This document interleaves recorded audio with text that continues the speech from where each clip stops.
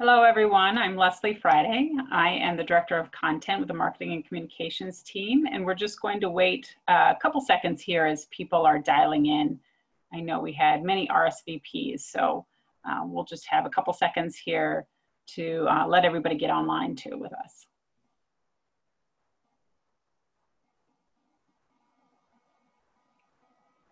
All right. Uh, again, I'm Leslie Friday. I'm the Director of Content with Partners in Health. Uh, welcome to a PIH webinar series. And today uh, we're talking about COVID-19 response in Navajo Nation. And I uh, have the great opportunity to be sitting here virtually with Hannah Sehn, with Dr. Jennie Wei, and with Dr. Mia Lozada. And soon we'll be joined by Dr. Sonya Shin. Uh, and so I will introduce everybody here uh, in just a moment. I want to walk through some of the basics to how you can best enjoy this Zoom webinar with us. Uh, so if you go up to the top here of your screen, you'll see that there are some view options. If you click on that, the side-by-side -side mode is uh, one of the easiest ways to watch the presentation. And then if you uh, move your cursor over to the right, you'll see these double parallel lines. You can move them back and forth if you're having a hard time reading the slides perfectly. Uh, we will be sharing a full recording of this afterwards. So if you know uh, that uh, anyone wanted to watch this but couldn't dial in uh, at this time, that will be available afterwards, as well as all the slides that are going to be shared today. So don't feel like you have to take uh, crazy notes. You will be able to access this later. So um, without further ado, I want to announce all of our wonderful panelists. Um, and just a note to uh, Hannah Sehn, who is our um, interim executive director for COPE. And COPE is our partner uh, in Navajo Nation, and it stands for Community Outreach and Patient Empowerment. So Hannah Sehn um, will not be on video today because the actually the internet access is not strong enough to be able to accommodate video at this time. But welcome, Hannah. Um, we also have Dr. Jennie Wei, and Dr. Mia Lozada, and they are uh, both internal medicine physicians at Gallup uh, Indian Medical Center and assistant clinical professors at uh, UCSF. And we also have Dr. Sonya Shin, uh, who has joined us, and she'll join us for the Q&A section here. Um, she is a Harvard Medical School associate professor and is also the director of research at COPE. So thank you to each of you for, for joining us.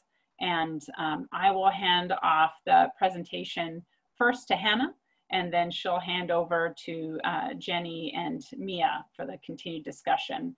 We'll also have a Q&A at the end, so definitely prepare your questions. Feel free to, to share them in the chat.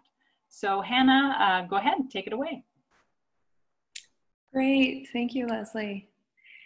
So, thank you everyone for taking the time out to join us today.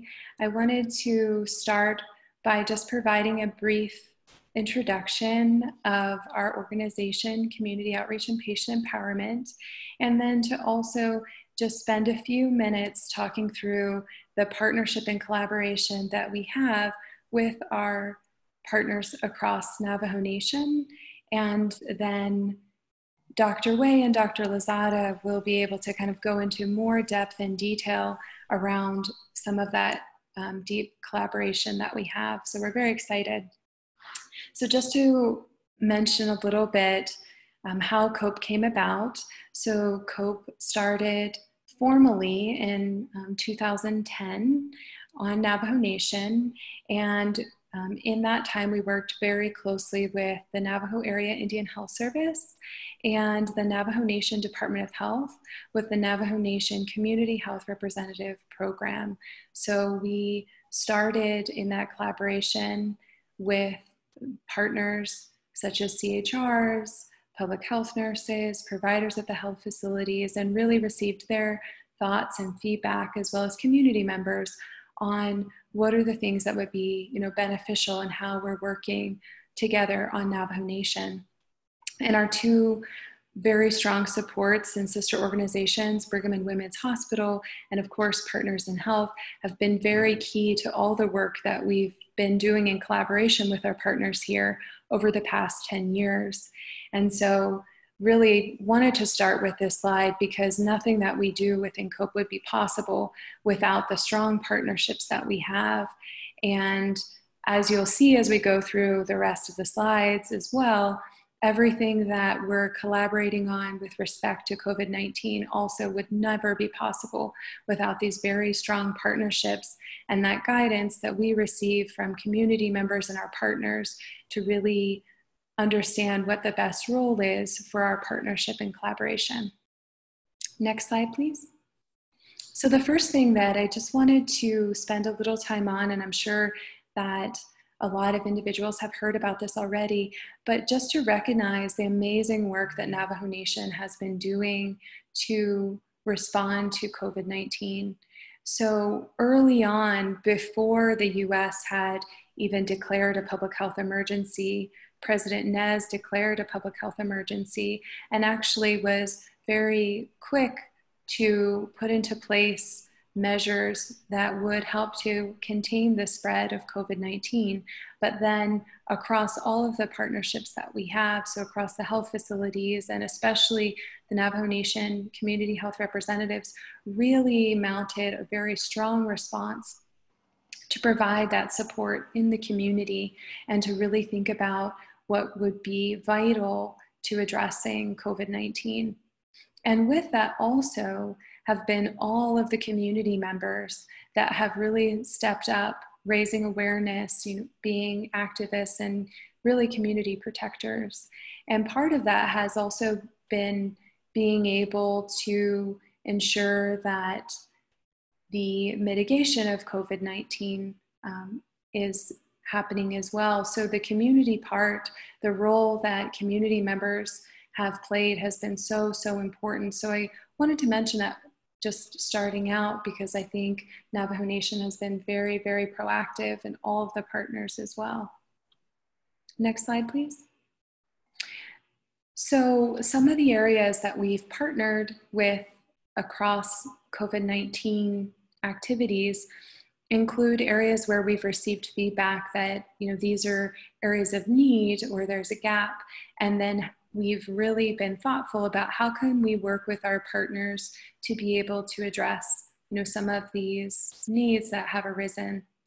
So these are some of the different areas that we do collaborate in and we're only able to do this because of those partnerships. So from you know being able to help with medical supplies for some of our local partners or the community support being able to help with food or masks or gloves, etc., that is really possible because of a strong collaboration we have with many different entities and organizations that are helping to provide support to Navajo Nation.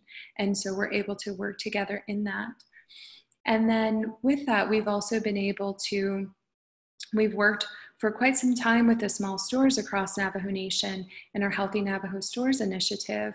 And so that's really provided us with the opportunity to be able to continue to support those small stores during this time with some of the items that they've indicated that would be helpful for them to stay healthy, as well as the individuals that are coming to their business. And then we've also been able to collaborate locally with providing support and outreach for individuals that are unsheltered. And um, Jennie and Mia will go into more detail around some of that work as well. And then we've also been able to work really closely with the health facilities and the Navajo Area Indian Health Service to help to provide support for volunteer medical personnel who are helping at health facilities across Navajo Nation. And then also have been requested to provide support around contact tracing and case management with a technology platform called CommCare, which I'll talk a little bit more about that as well. And then also have worked closely with partners to be able to develop some educational materials. So this has included videos. So for example, our store outreach coordinator did a video for the stores on how employees can stay healthy and what are the things that are important for them to consider. And we're also working with some of our local partners on some other additional videos. And we've really tried to make sure that as we're developing these materials, we're filling the gap that's there, you know, versus duplicating, because there's a lot of amazing materials that the Navajo Department of Health has um, worked on and created early on that then we were able to actually just share with the stores and um, some of our other partners. Next slide.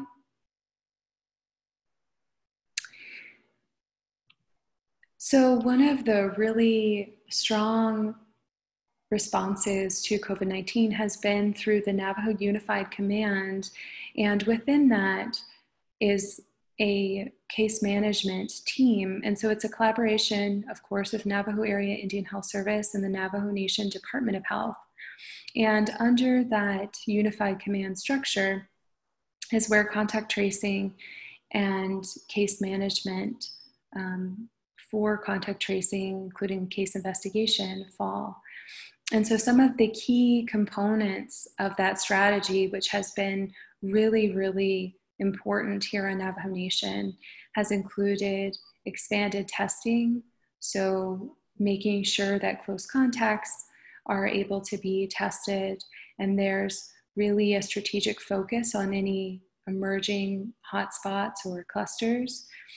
And then ensuring that of course, contact tracing is taking place, and also that with that, home support, so ensuring that individuals have the resources they need to be able to isolate or quarantine, that they're able to have those resources.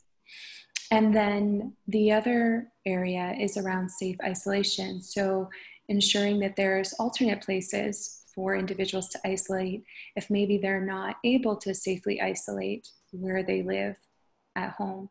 And so um, Dr. Lozada and Dr. Wei will talk a bit more about some of the respiratory shelters and the work within that area. But I think it's really amazing how Navajo Nation Unified Command has organized these pillars because it really ensures that it's a very proactive approach and that there's support for individuals that may actually need it. Next slide, please. So I think, you know, the other thing just to mention as well, I mentioned, you know, the CHRs and the work that they do, and they really have been on the front lines since the beginning of this work. And um, I think what we've really seen from everything that they've been doing as well is just how innovative and creative some of these approaches have been, and really thinking about know, what are the ways to support community members? What are the ways to raise awareness? And how can we ensure that we're really listening to the community, listening to CHRs, listening to partners to understand how we can best do that? Next slide. So, with respect to contact tracing, um, the health facilities across Navajo Nation have really been doing a phenomenal job working on contact tracing. And within um, the incident command structure, the lead for contact tracing, so the expanded workforce, is Dr. Sonya Shin, who is on this call. And part of the work that we've been doing within that team is actually helping to expand the workforce that can support contact tracing across Navajo Nation, but doing that in a very coordinated effort that's guided by incident command and really trying to ensure that we're having you know, very clear SOPs and guides and being able to do workforce projections. And then also, part of that contact tracing has been a tailored technology platform as well as the volunteer contact tracers themselves. So we've really, you know, learned a lot from our partners that have been doing this work. So all of the health facilities across Navajo Nation that have been working on this over the past several months. And we've been able to learn from that feedback to be able to provide that support under the direction and leadership of Navajo Nation and Navajo Area Indian Health Service. Next slide, please. So this, um, I love this slide because we have an amazing team that has been working really closely, of course, with um, the PIH um, public health accompaniment team around COVID that has been working to expand the workforce of contact tracers. And I love this picture because it just really shows like what that training looks like now that we're in a virtual space and also just kind of gives a sense of all of the different individuals that have been participating in these trainings. So we've tried to be very strategic about how this program has been developed to ensure that local Diné students are able to be part of this program. And we know that they will, you know, have a, a really good sense of the community and also understand the health system, but that this can also be an opportunity for their own professional development and to be closer connected to the health facilities and to CHRs and public health nurses, especially if it might be an area where in the future maybe they are interested in those public health or other health careers. And so the team that's been leading this, of course, is under um, Sonya Shin. And some of the ways that they've been able to provide this training has included virtual, but then has included a lot of just coaching and one on ones. And then we've been working with one of the health facilities to incorporate these contact tracers as part of the team. Next slide. So I just wanted to take a minute just to touch a little bit on the CommCare COVID 19 system that we are using um, across Navajo Nation. And again, this is under the leadership of the Navajo Epidemiology Center. So um, we work very closely with them under their leadership to be able to collaborate with the health facilities in using this platform for contact tracing, case investigation, and follow up. And it's been really beneficial to learn from the sites that have been working on contact tracing early on because they have a lot of just rich feedback on how to design the system so that it can work very specifically for Navajo Nation. So it can help with all of those four pillars that I mentioned early on, and so that it can actually help to facilitate case management and then also facilitate the collection of information that is needed by the Navajo Epidemiology Center so that they can be able to make those recommendations around resources, around reopening, around gating criteria.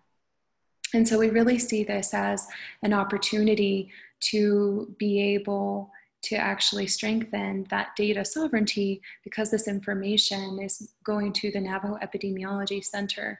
And they've been doing a phenomenal job in really being able to share information with community members.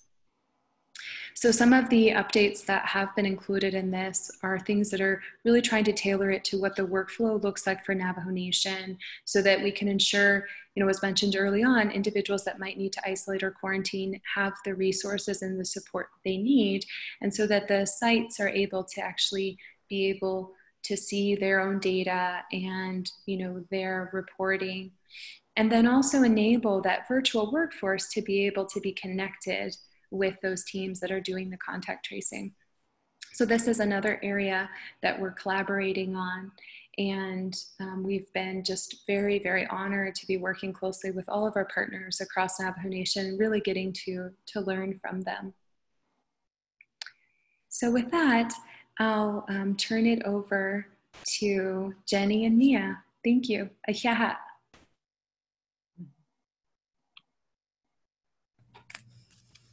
All right, thank you so much, Hannah. Um, we've loved working with COPE and, and this next presentation hopefully will highlight uh, our strong relationship with one another and how we are so dependent on the work that COPE has done.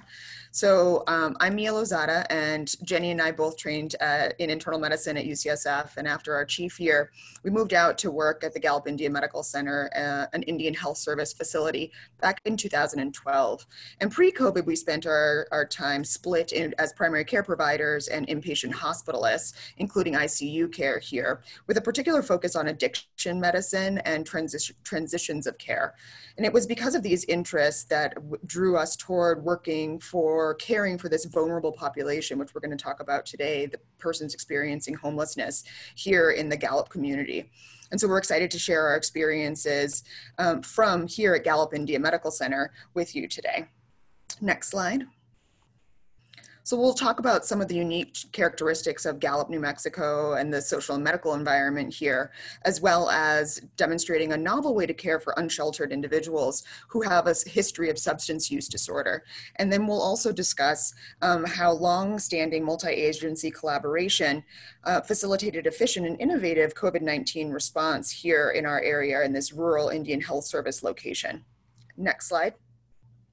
So for those who may not be familiar with Gallup, New Mexico, uh, we are located in the Four Corners region, as you can see here, um, with Navajo Nation spanning the three of the four Four Corners states, not going into Colorado. That red circle is where Gallup itself is, where we're technically off the Navajo reservation, um, although the area, the city of Gallup, actually has a lot of what we call checkerboard. So our city itself frequently switches between reservation and not reservation land.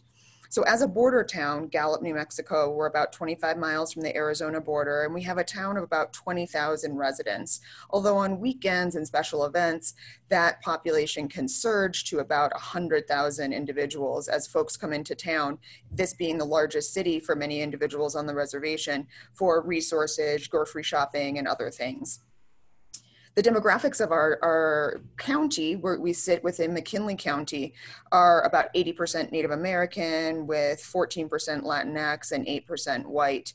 Um, those living in poverty are about a third um, within our county. Next slide. And this is Gallup Indian Medical Center. So GIMC, as we call it, was opened in 1961, soon after the Indian Health Service itself was founded, which was founded in 1955. Our inpatient facility has, in theory, the physical capacity for 99 beds, but we are frequently understaffed from the nursing and provider perspective, and so are, are really not able to sustain that number of inpatient um, stays for our um, population. But we do have about almost 6,000 um, inpatient admissions per year. Our emergency department acts almost like a, an urban emergency department in a rural setting with about 40,000 visits per year. And we're one of the only tra trauma centers of all IHS facilities in the country. We're technically a level three trauma center. And we have many specialties here um, in, in, internal medicine, family medicine, general surgery, pediatrics, uh, but we really lack nearly every subspecialty. And so much of what drew Jennie and I to a career out here um, with the Indian Health Service was our ability to become both the generalist as general internist and the specialist for our patients, since the closest subspecialists are over 130 miles away. Next slide. So this is what it looked like. So the prior photo was pre-COVID and this is post-COVID uh, in terms of, of the changes that we had to make, um, which are very similar to many changes that have happened across the country in other hospital settings. So we, um, our hospital prepped very well. We retrofitted our spaces and we got PPE and felt very prepared. And our facility were early adopters of some of the best practices that were emerging at that time from Seattle um, and the New York City area, with many of our emergency room providers having come from those areas and having connections there to, to learn directly from those who were at the front lines at that time. So we really tried to stay ahead of the curve. Um, and you can see in the next photo what our emergency room, next slide please, what our emergency room looked like before, and then next slide, how we converted it very quickly. This was actually happening in, the, in um, March um, and April, so early on in the pandemic. And New Mexico adopted early social distancing policies, um, and it overall felt really calm. So we had made these dramatic changes, and we began to wonder if we had actually overestimated the likelihood of an outbreak in Gallup, um, if, if only that had been true. So next slide. And the next slide. So you, you never want to be at the top of these New York Times lists. And sadly, Gallup has been persistently at the top throughout much of May and June with the, the image on the left showing new deaths in the last two weeks with Gallup, New Mexico, our small town being the highest in terms of per capita death rates. And on the right, um, just, you know, a few weeks ago being the hardest hit above, you know, all these other areas that have been discussed, um, New York City being listed seventh there. So Gallup, New Mexico, top, top of the list.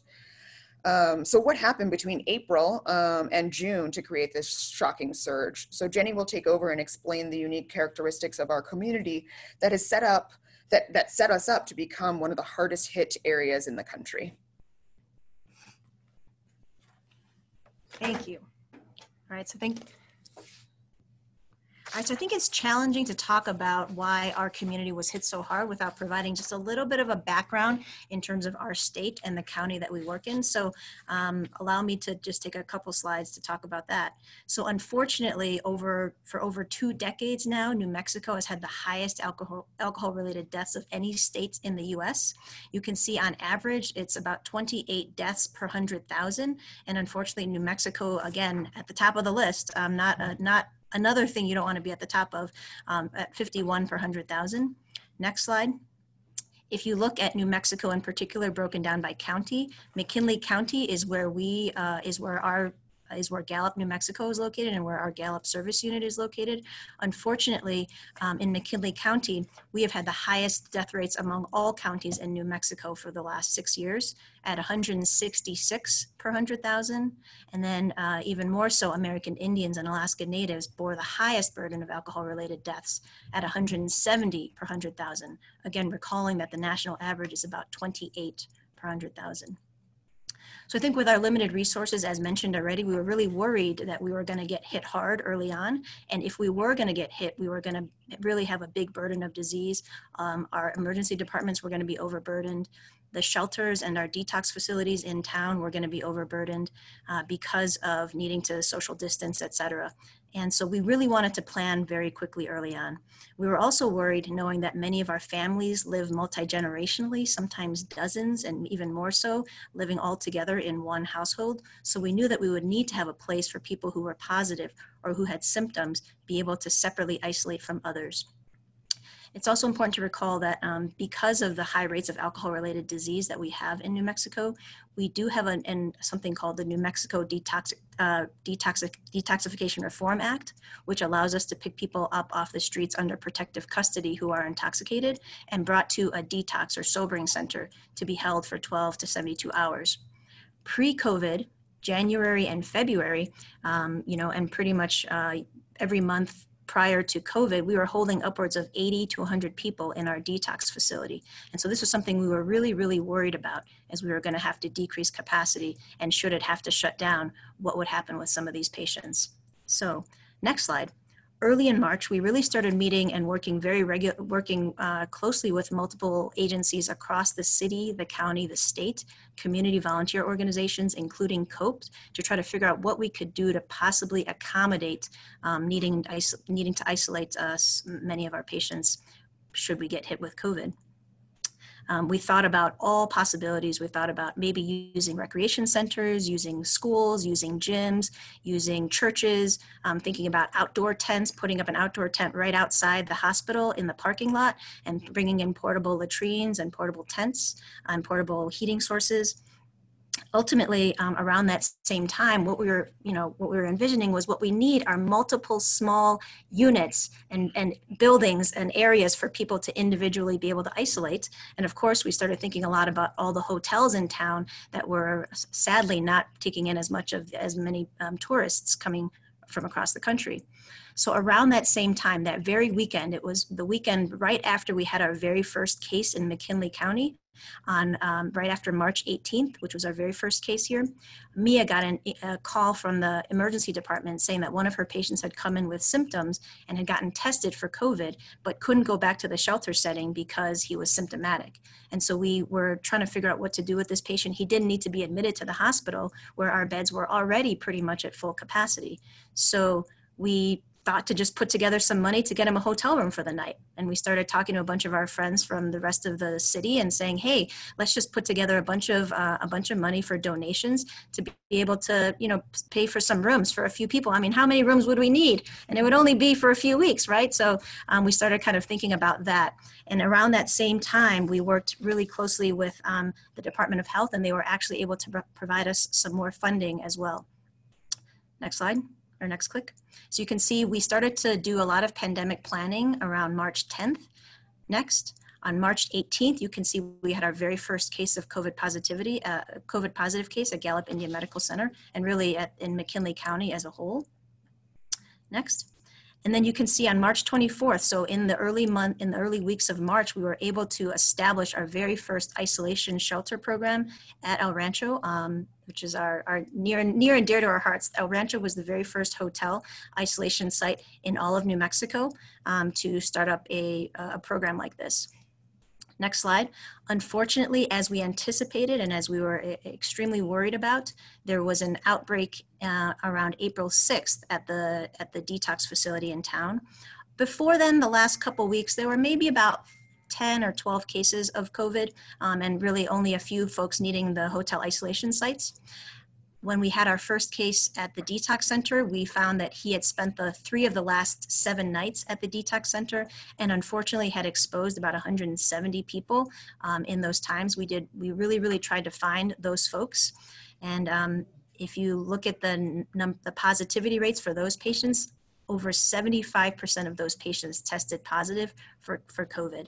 The average rate that we have right now in, in um, our service unit is about 19% positivity rate. So you can see 75% is high by any stretch in any even considering any congregate shelter setting even considering prisons etc it is a really really high rate uh, that we were very very worried about Luckily, we were able to really expand the hotel program very quickly over the course of the next few weeks. We got three more hotels in, um, on board uh, next, and you can see we were able to actually uh, increase to, on average, from mid-April through mid-May, we actually had over 140, 150, even up to 160 patients in our hotel program um, daily, taking daily uh, checking in with patients, and Next, you can see, you know, the, the goal of the hotel program, as you can imagine, is really to provide anything that a patient may need in order to be able to safely isolate and stay in their rooms in order to kind of be away from others or be away from their family, et cetera, but still have all the needs met so that they wouldn't feel the need to leave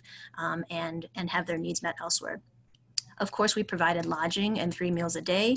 We provided transport back and forth from the hospital or whether they needed to come back for emergency um, issues or uh, appointments. And I will say the absolute backbone of the program, of our hotel program, has been COPE. Um, has been the collaboration that we've already, and through relationships we've already had with Hannah and Sonya at the time, and through relationships we've already had with COPE, we were able to get many of these things set up very quickly. They jumped right on board. They took, they were able to essentially donate thousands of hours of their time to staff 24 7 our hotline to help triage the needs of the patients, whether that's social needs, whether that's needing uh, snacks, needing feminine hygiene products, needing toiletries, needing puzzles, books, radios, uh, refrigerators, all of those things and more. COPE has been so creative in providing for our patients. And then they also, of course, help us with medical triage if there's anything that uh, particularly um, that should be directed to for medical oversight.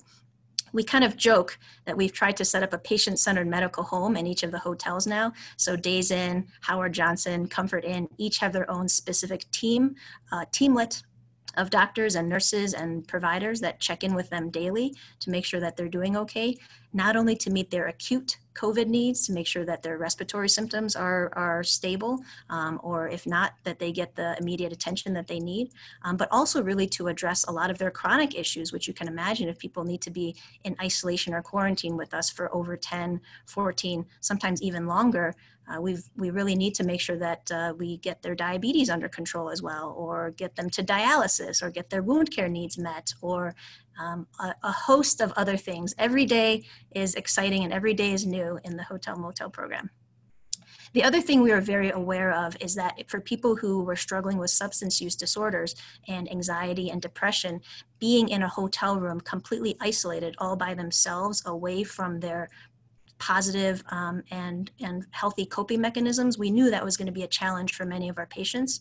So Similarly, because of some of our connections that we already had with the Office of Peer Recovery Engagement, we were able to get certified peer support workers on board quickly to help. And every single patient that comes into our program gets a phone call from a peer support worker to see if they want to continue to check in with them.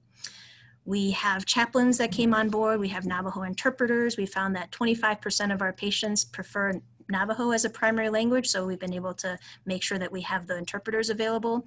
And Native Medicine, we've been so lucky that our Office of Native Medicine has been willing to actually um, provide and bless native herbs. So this is actually sagebrush. I wish you guys could smell this because it smells amazing. Um, and they provided some directions for patients on how to use it as a tea to be able to help to clear um, and um, heal from congestion, flu-like symptoms. And we just threw COVID in there as another indication for sagebrush. Um, and so it's been amazing. I've had patients literally crying, um, being so thankful that they had these native medicine herbs available as well because it typically is so expensive and to have it be blessed by a medicine man is, is something truly extraordinary. So um, and then finally, we got a donation of 70 iPads for our program. So we've been really re working to try to ramp up that program to get telemedicine going, whether it's group sessions and talking circles that we've already started over the last few weeks, and then trying to ramp up to do group sessions like for diabetes, um, healthy eating, things like that, while patients are a captive audience and um, really open and, and to thinking more about their health at this time. So next, since um, March 24th, when we opened, we've had over 800 patients in our program, and we've had over 30 non Gallup Indian Medical Center volunteers, providers helping from all across the country, donating over 3,600 hours to the program to help to be that provider or to be the scribe or to be the caller to check, to check in with patients and they've come from all over the country. We've had a lot of people from the Uni University of California, San Francisco, where we already have a program established with them for our Global Health Fellowship. We have folks from COVID Care Force, our Medical Reserve Corps from New Mexico, and really a smattering of people from all over the country. And um, it's it's been incredible to see. We've even and we had over 50 volunteers from our hospital um, alone as well. Speech pathologists, you know, um, uh, pediatric nurse, uh, everybody. Even, we even had a retired uh, internal medicine doctor come back out of retirement to help us do some phone calls.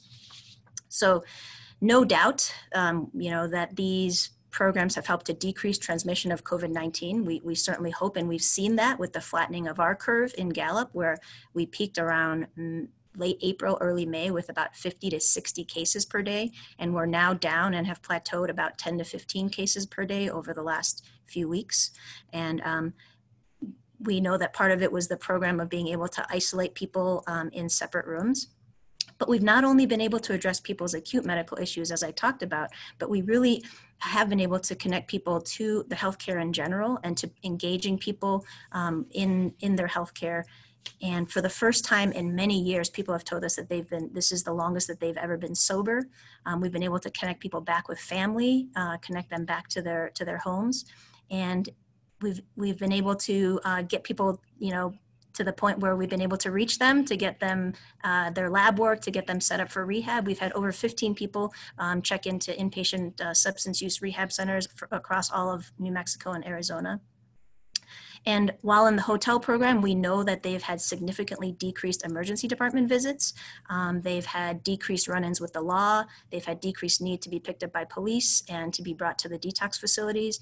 So we're seeing that housing first works, you know, that, um, that that providing housing and basic necessities allows people to then start to work towards their goals, their personal goals, and provide positive contributions to society. Um, that um, it's not housing first is not only the right thing to be doing for our patients um, and not only what contributed significantly to the challenges that we had here in Gallup, but it also it makes sense from a cost perspective that it really does decrease very precious and, um, and limited resources that we have in our community so we have been so incredibly moved um, and heartened by everybody on this call. I know that the COPE has been an absolute backbone. I can't emphasize that enough um, to the program. And If they weren't here, we wouldn't be able to, to continue the program like we have. Next slide. These are just some other pictures of the program. Um, so this is another, this is a picture of me uh, at the Howard Johnson, um, just waving at one of our patients who we've, we've just seen incredible talent from our patients that um, perhaps, uh, unfortunately being in the hospital, I often don't get to see, but being able to round on the, in the hotels and seeing people doing well, housed, taking their medications, it's, it's, it's absolutely been incredible. Next slide. You can see this is a specific picture um, that one of our patients drew for one of our visiting uh, doctors um, to, to send home, Ahéhee', uh, meaning thank you in Navajo. And finally, I just wanted to end with uh, a letter that one of our patients wrote to us um, who was in the program. He says, My name is blank, and I'm writing to you not just for myself, for others also. Thank you. Uh, thanking you and your first responders. They are doing a great job checking in uh, checking our temperature and any other medical conditions we have. I've been put in this motel room by myself at first, I thought it was okay, and then I wanted to leave because I have an addiction problem. And some of your first responders helped me, have helped me by talking to me, setting me up with a treatment center, or I should say a healing center, and get rid of my addiction. I'm healing from this poison and other poisons. I just wanted to say uh, thank you. So this is the letter that he wrote to us right before he went into rehab. Um, so again, we, although the COVID has been such a horrible time for many of our community and many of our patients, our colleagues. I don't think anybody has um, not been hit by COVID or not known someone close to them who's passed away from COVID.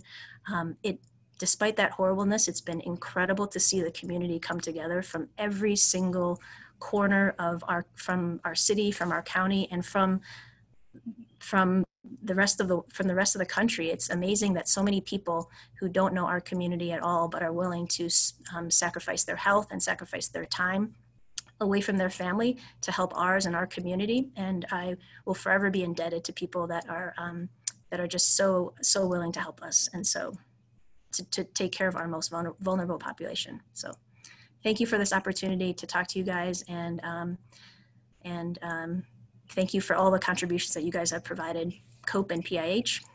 I put this slide up as just as just a snapshot of the people that we've been able to collaborate with, um, many from existing collaborations from prior work that we've done. Um, and uh, this looks like an intimidating slide to think that we, you would have to coordinate with all of these organizations, but really realizing that it's just one individual person at each of these places that we knew. That's an that's an individual relationship, like knowing Hannah and knowing Sonya, um, that that got the the partnerships together. So. Thank you guys. Thank you, Hannah and Jennie and Mia. This is really a wonderful presentation, and I know uh, many people have enjoyed it.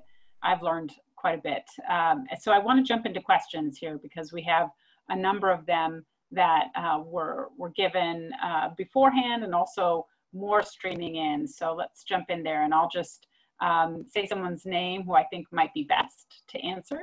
Um, and Sonya, Dr. Sonya Shin, I want to have you enter the conversation too. Maybe I'll send you the first question here. Um, since you uh, were mentioned quite a few times in connection with contact tracing, you know, in, in general, could you speak to how is testing and contact tracing, how widespread is it across the Navajo Nation uh, from your perspective? Yeah, sure. So thank you for um, inviting me to um, visit with all of you for a little bit, and it's uh, just been great to listen to the um, the previous presenters. So um, I'd say first of all, testing has been ahead of the curve. So if you compare uh, the access to testing um, uh, within Navajo Nation uh, to the United States, I think generally we've been quite successful in rolling out testing um, pretty aggressively. There are times when it is you know challenging. Um, there are times when the turnaround time is a little bit slower but um, for instance in phoenix where um, i think right now for, with a you know kind of the surge that's happening people being turned away I, I, have not heard of those kinds of challenges here on navajo. For contact tracing you know it's probably like so many other places where all of a sudden you know covid just arrived and people um, built whatever structures and teams that they could assemble to carry out contact tracing. And now that we have, you know, um, a little bit more, um, you know, sort of space and, and time to think about these things, what we're really trying to do is take these kinds of, um, this kind of mosaic of, of teams at the sites, um, the states, et cetera, and actually try to work to create more of a coordinated system with the long view in mind. Uh, so I think that contact tracing everybody's getting contact traced. You know, I think that um, it's going well. The challenge is really making sure that um, the it's all happening in a coordinated system, as Hannah alluded to, that we're all actually able to see that data in a way that we can make um, um, uh, decisions in real time. And ideally, you know, I think um, we're just starting to see uh, how much more effective it is to be contact tracing from your local hospital because then you can immediately connect um, you know for instance last night there was a woman out in the community who had chest pain and um, the caller was able to you know get that person to come into the emergency room and get evaluated and have them admitted into the respiratory shelter you know under uh, um, you know uh, the system that jennie and mia are describing so you know if we're really connected as a care team as opposed to just a kind of a like a contact tracing team i think uh, just the the support that we're able to give the families is stronger. That's great. Thank you sonya. Uh, I also want to ask a question of, that many people are, are asking, frankly, about, you know, how can they help and are any resources needed? Uh, many people, you know, have heard that PPE, for example, is in short supply in some places across the nation.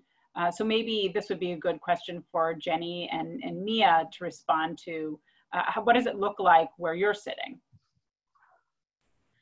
Yeah, I think that's definitely something, you know, very early on we were worried about. We did have to go into like contingency and crisis mode per the CDC. They did really lay out uh, based on your supply and demand and anticipated uh, future needs what types of things you need to do. So unfortunately, we were needing to reuse PPE at times.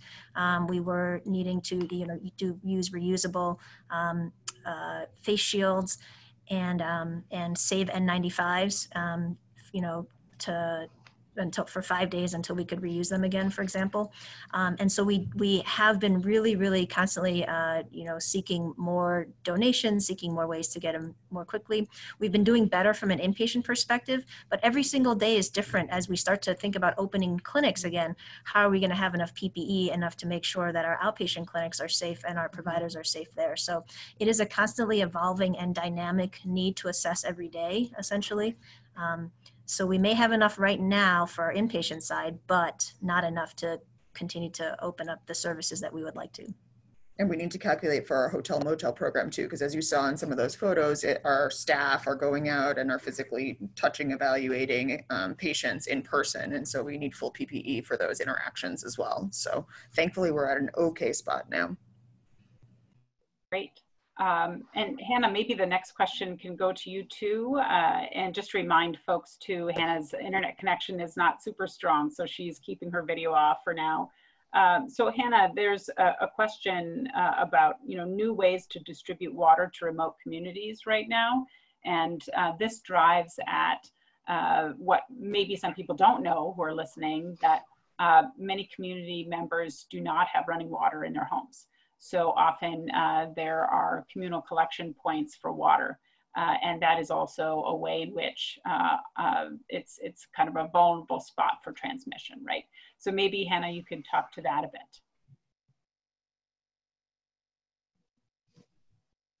Sure. So I think what you've mentioned is true that um, it definitely can be challenging in, in areas where there isn't access to um, piped running water.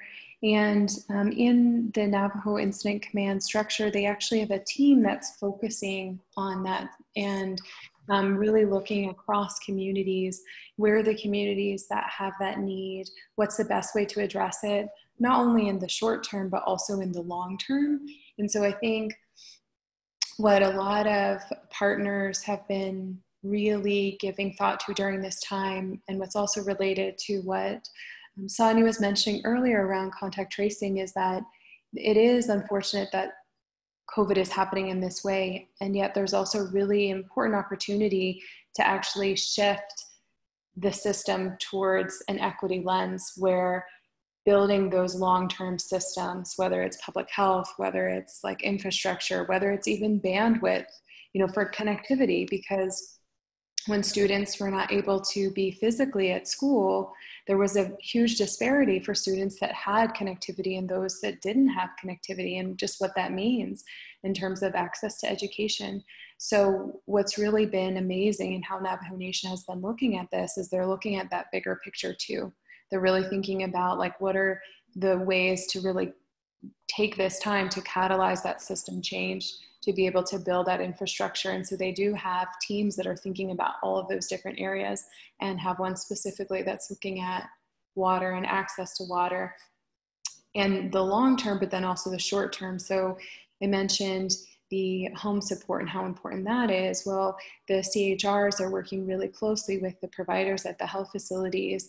And so whenever somebody maybe has the need to quarantine, um, assessing whenever they're doing that case investigation and contact tracing, what are the needs that those individuals have, you know, whether it's water, whether it's food, whether it's masks, and then making sure that they're able to receive those items. So it really is a collaboration to address what are those immediate needs, and then how, how can we also think about that longer term to really build some of those systems. Great, thank you, Hannah. Uh, and possibly this next question can go to both you and uh, Sonya. Maybe Sonya, if you want to take uh, the first go, but uh, an earlier question in the chat mentioned educational materials and how they're shared with patients, given that there's such vast, you know, geographic distances and connectivity issues across Navajo Nation. So how do you get that information to the right people uh, uh, during this pandemic? Uh, you know, I, I think um, probably the, the first answer that comes to my mind is every which way you can. You know, so uh, radio is an important um, medium for reaching um, the community and um, you know, from the highest level, I know that um, leadership was actually very aggressive about putting out, um, you know, a lot of uh, radio communication as well as, you know, uh, live Facebook discussions. From the education standpoint, whenever there's an opportunity to drop anything off, like whether it's a, you know, a food uh, pickup station, um, whether it's, um, you know, going to a community that's heavily affected and bringing supplies out there, actually if it's coming in um, to drive through you know for testing wherever there is that moment like a touch point um, i think uh, all of us have tried very hard to um, uh, get education in in that moment whether it's you know verbally but also written materials so one thing um, you know that we did um, when i say we i mean as navajo nation um, you know many of the practitioners realized that if the tests are going to take you know three or four days to get back and then you have to call the person, etc. Um, actually, what we really should be doing is like the minute we put the swab in their nose, at that point, we should be telling them everything they need to know if their test comes back positive. And that was actually really important. I think that actually contributed to bringing the epidemic down because basically people were instituting isolation, you know, from time zero even before they got the test back. Um, and now actually we're doing that and giving them household kits with all of the materials that they need in order to isolate at home. So those are, I think it's just been, you know, kind of, again, like any kind of tool that you can use, we've tried to use. That's great. Excellent. Um, and Hannah, did you want to add anything? It sounded, that sounded great, Sonya. I wanted to give you an opportunity, Hannah, to add if you wanted to. Yeah, I mean, I definitely completely agree with everything that Sonya had mentioned. And then also just kind of going back to the one slide that we had with the quote from a CHR that was talking about how now is really the time to think innovatively about new ways to be able to provide information. And one of the things that um, one of our staff members who worked really closely with individuals you know, at the hotels, as Jennie and Mia were mentioning, is that one of the things that she observed is it's so important to be able to think about how you build that rapport over the phone, which is very different, especially when you're so used to doing it in person. So there are things you have to be like more careful about, things you have to consider so that you can build that trust to be able to share information where someone's wanting to be able to ask questions and where you can also paint a picture in words where you might usually use a picture if you were there with them. So I think there are even just different ways that we're all thinking about things. And of course, there's been a lot of amazing work that's happened with being able to share information in a lot of different platforms and then you know kind of evaluating that taking a step back to see you know where are the gaps and what are some additional ideas. So i think it's always going to be something that's ongoing but really teaching us all a lot. And getting that feedback from community members is so so important to really understand you know what is working best and what are things that we can do to really improve. Thank you. Uh, this next question i want to send over to, to jennie and mia. Um, and we were chatting a little bit before the call uh, that you had some ideas. So uh, do you think this pandemic will ultimately result in long-term infrastructure improvements on Navajo Nation? Um, and maybe this is getting at the, the, housing issues that we were discussing and other mm-hmm. access to, to resources. Exactly. So we have really tried to, you know, think as creatively as possible about how we might be able to use FEMA and CARES Act funding for specifically for the COVID crisis, but to actually use it for, towards more long-term solutions as well. So not just mm-hmm. housing people uh, temporarily in hotels, but actually using some of that money to be able to support permanent supportive housing options as well. So we are working with the state um, very, very closely to try to figure out how we might be able to apply for various types of grants um, through Housing and Urban Development or through CARES Act or through multiple different other areas to, to piece together to really um, uh, help us stand up one of uh, one of the hotels that we actually had called the Lexington Hotel, which was used for more permanent supportive housing. So I guess just one example of trying to you know um, make this last uh, and, and create more permanent solutions, which we know if we don't think about now will just cause a, uh, another outbreak in the future. Great. And I know we're almost at time, so I have one more question for everyone, and it feels like it's a common theme. Um, so maybe if, if anyone wants to jump in, go ahead. But you know, everyone listening, I'm sure wants to know how can I best contribute? Can I be a contact tracer? Can I? Do you need a health professional? Do you need PPE? What can I do? So um, maybe Sonya, you want to start, and each person just chimes in if they're if they'd like. Yeah, I mean, I guess I would take the long view. You know, I think that people right now are sort of, you know, surprised about um, like what's happening um, in Navajo with COVID. But actually, for people who uh, live here or work here, um, you know, this has taken centuries, you know, to to to come to this moment and um, to to commit and to to I think support our community over the long run, so that you know rather than bringing in um, healthcare professionals that turn over every two weeks, we can actually build that workforce ourselves. You know, so I think um, all of the support that people are providing has been tremendous. Um, and investing in the local community and the, the folks here on the ground to create you know that that long-term capacity would probably be in my in my opinion you know the best way that that um, that you could help. Thanks. Jennie and and Mia, any thoughts there? Yeah, I, I think I am not as elegant of a thinker and planner as Sonya is, and I think um, I, I can only see you know what's in front of me, and so I think that that goal of the long-term sustainable infrastructure and staffing is is the ultimate goal, and I think what we're facing is the how do we staff tomorrow and next week and and two weeks from now, and so that I think is is probably one of our more immediate challenges in terms of how do we keep up the medical oversight aspect of our hotel motel mm-hmm. program. So whether that's providers, nurses, um, all all levels of training in terms of uh, medical personnel um, would be are needed um, and for longer periods of time so that people can really get embedded and, and learn more about the context in which they're working. Um, that I think is the what what we're feeling most acutely right now. But recognizing that this is not what we thought, you know, a couple of weeks of us all pulling, you know, 20 bucks out of our pocket and, and putting some people up in a hotel for a little bit, that this, this is likely going to be a need for many months, if not years. And so how do we make it something sustainable long-term? Perfect. Thank you. And, and Hannah, uh, any parting thoughts too on, on that last question? I think that really covered both perspectives there. I guess the only thing I would just add is we've always found that by really listening to the community and being guided by the community that we're always doing you know what is needed. And so i think that's very important to remember that those who really have the knowledge the wisdom the answers are community members themselves. And so by starting there we'll always be on the right track. Perfect well, I want to thank each of you, Hannah and Sonya, Jennie, and Mia for participating. This has been a wonderful webinar, and I hope everyone listening really uh, learned something today. Uh, if you want more information about Partners in Health and COPE, please visit uh, PIH.org and COPE's website as well uh, to, to dive in deeper. You can also find us on social media, through Facebook, Instagram, Twitter, and LinkedIn.